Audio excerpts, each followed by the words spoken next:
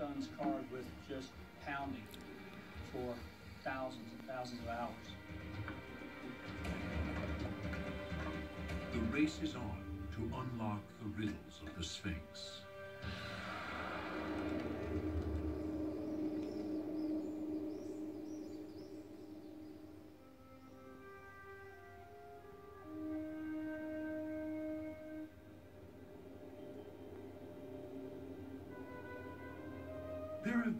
Thousands of sphinxes throughout history. But this sphinx, the Great Sphinx, is one of the very first and is by far the largest ever built. But this was an age of experimentation. The Sphinx is an experiment. It was something new, something highly unusual. So where did the idea of putting a human head on a lion's body come from? The Bible.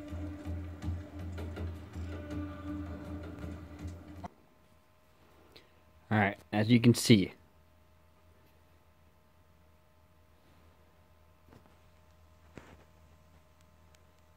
the head is on top of the temple, as the body represents a temple as it is written in the Bible. And the lion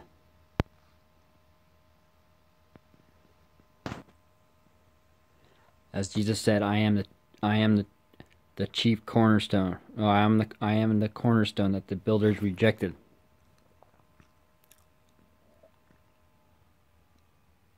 Cornerstone. Corner of a cube.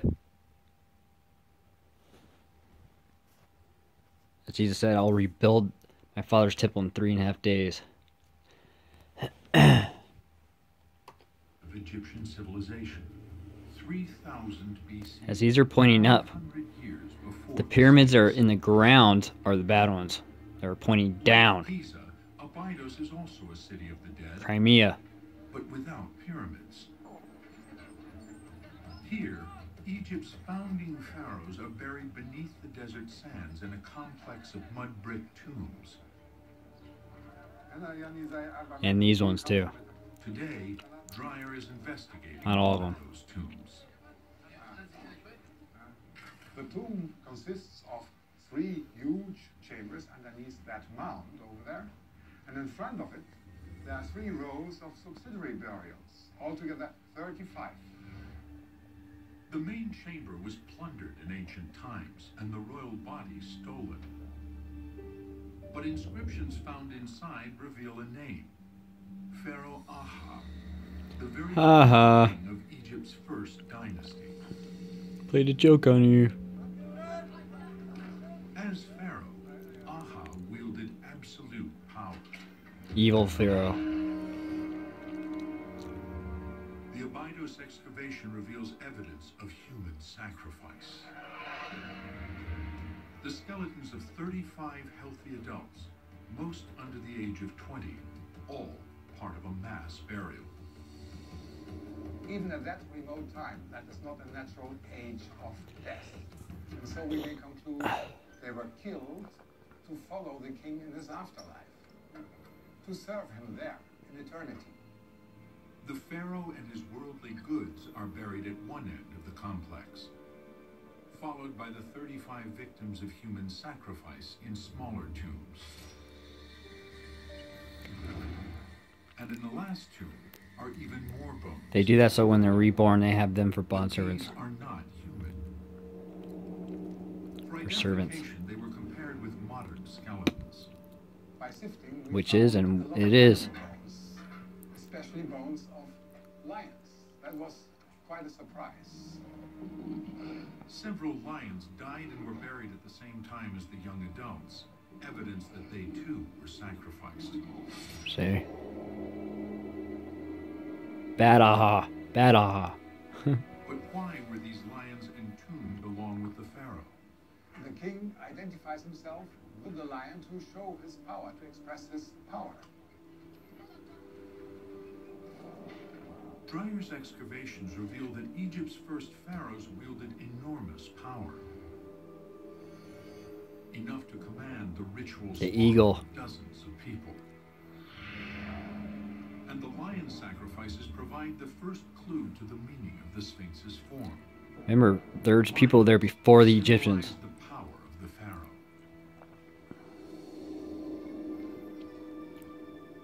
As the Sphinx is the But lion. Sphinx is more than just a lion. It's also part human. It's called Yahweh. Ancient Egyptians depict their gods as part animal, part human. But usually gods have animal heads. Temple of the dog. There's the lions. The Sphinx is just the opposite. When you put the human head on the lion Or the body, black horse. you have all the strength and power of the lion.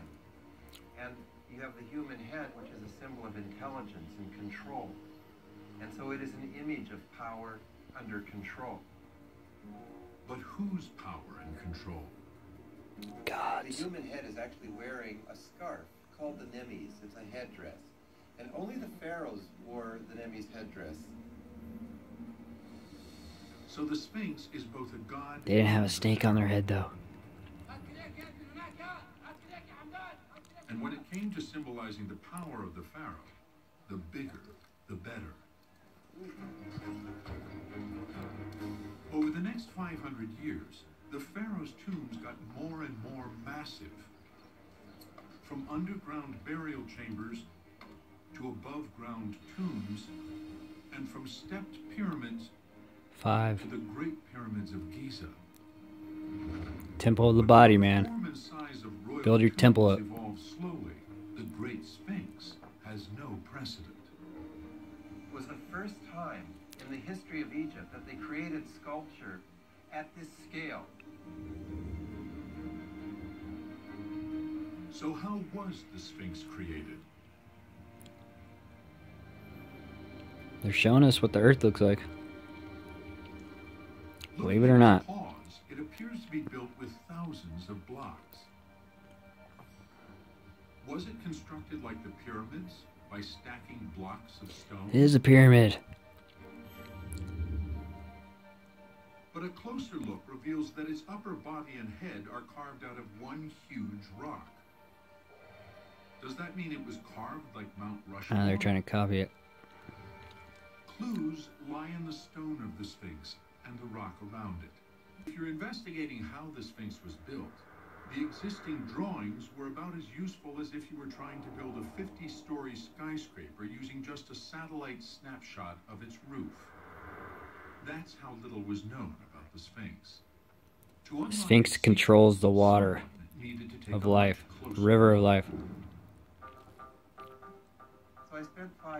As there are pipes underneath it, all over the place. Scale. Look it up yourself. This was my office, and I would take my breaks here and have a stale cheese sandwich and a cup of Nescafe. Lehner's mapping gave him an intimate knowledge of the Sphinx, its stone, and the Giza Plateau. To begin with, the Sphinx is made of limestone. Here's its Close tail. inspection of the limestone reveals how it was formed. You see a pattern that looks kind of like a brain coral, or almost like a sponge. All the limestone at Giza, including the body of the Sphinx, was once the floor of a sea. It was a seabed. So you have frozen into the stone various elements of seafloor life. Millions of years ago, the, The Giza Three Kings. was underwater. Sea creatures and plants died, falling to the bottom.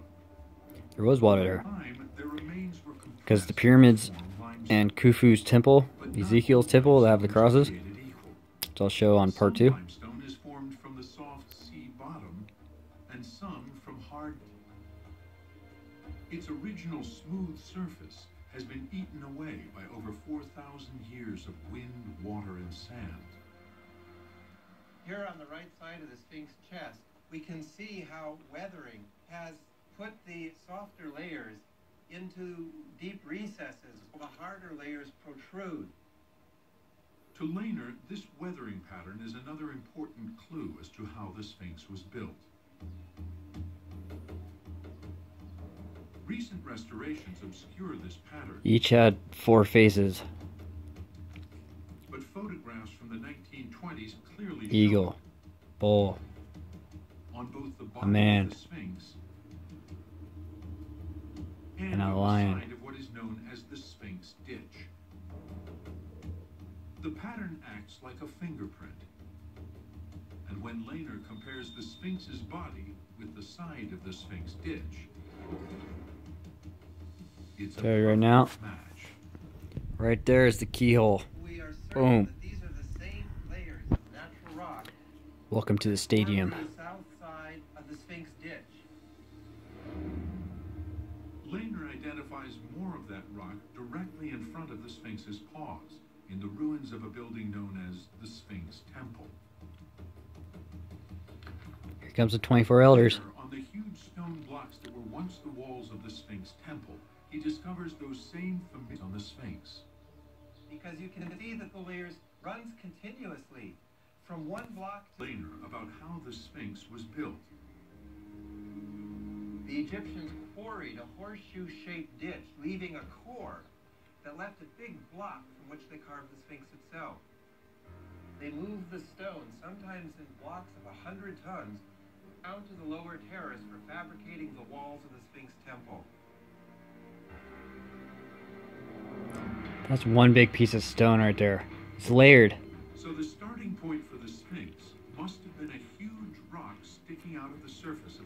Wrong.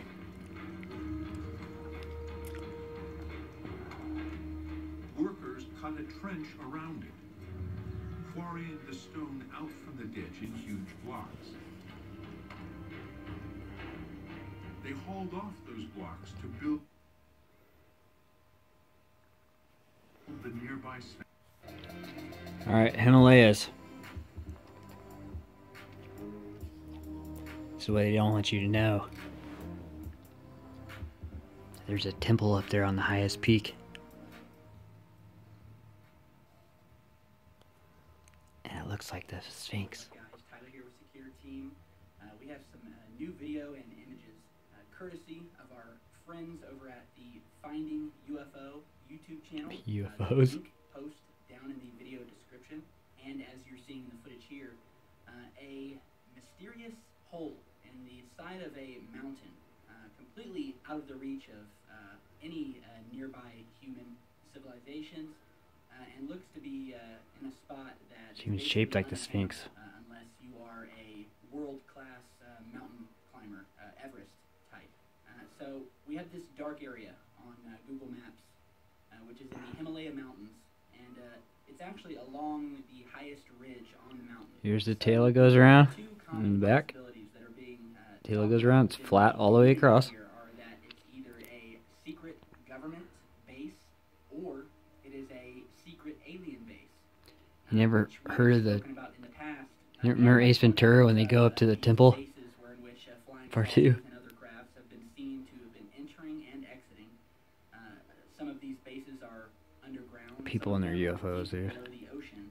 Uh, especially Only only UFOs there are Disc of Righteousness and the Sons of Light, water and shooting off into space at a extremely high velocity. as it is written in the Book of John. So this could be an entranceway uh, for UFOs. The odd thing about this is that as you cycle through the Google Earth images of the side of this mountain And you can't. the years, They erased it. it seems that this hole has just uh, just sort of appeared. And as you're seeing in these images here from back in the early 2000s, this black spot, uh, this hole uh, or entrance uh, doesn't exist on Google Earth. Uh, and in 2015 is when it began to appear. Now, uh, it very well possibly could be a secret government installation. Um, this is not Oh, the first time that these uh, massive uh, caverns um, have been found on Google Earth. I recall a few years ago, another uh, secret base was found in the side of a mountain, which uh, Alright, now let me show you. that it's either a secret gov- uh, and looks to be uh, out of the reach of any uh, nearby As you can see right here. See the squares? See the arm? So you can see the feet down here.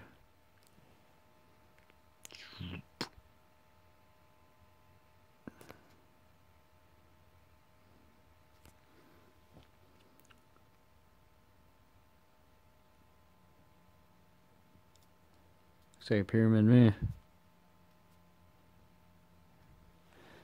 I look, here's the head.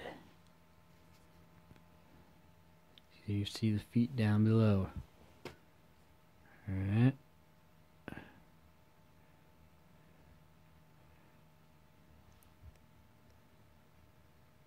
Bear with me.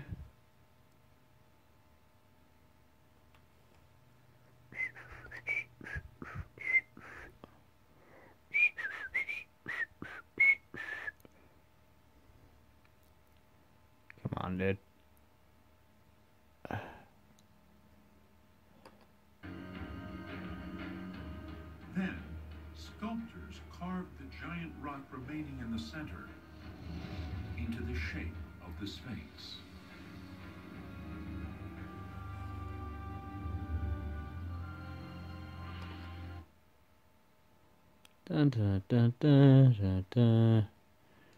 Alright. Keep watching.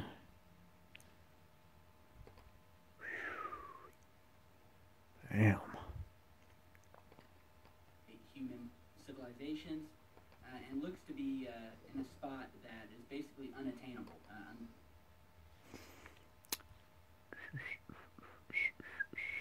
Here's the flat back back here.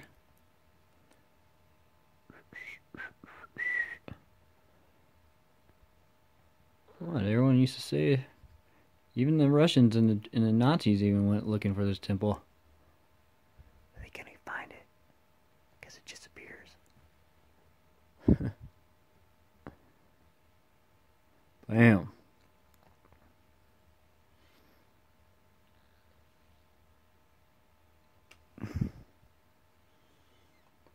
Mm-hmm. See? Here's this piece.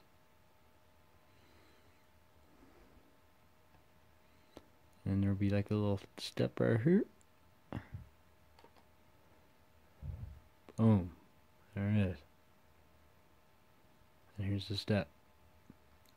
Here's the leg. unless you are a Here's the tail that goes all the way around. World-class uh, mountain climber, uh, Everest type. Uh, so we have this dark area on uh, Google Maps. Who do you uh, think which in the Himalaya Mountains. built this stuff? It's actually along the. You guys believe in aliens?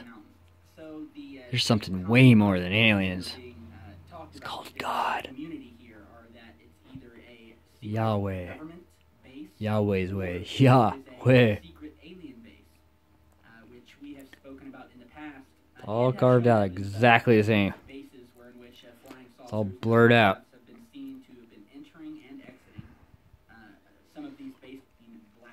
Okay, UFOs, dude, they go through water, dude. They don't care about.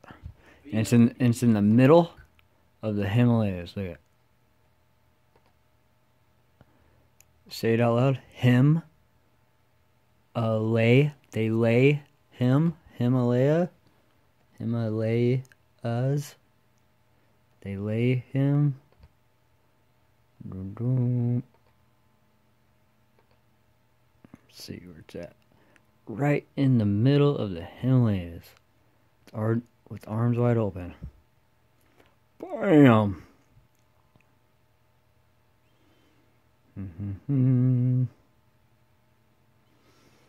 There it is.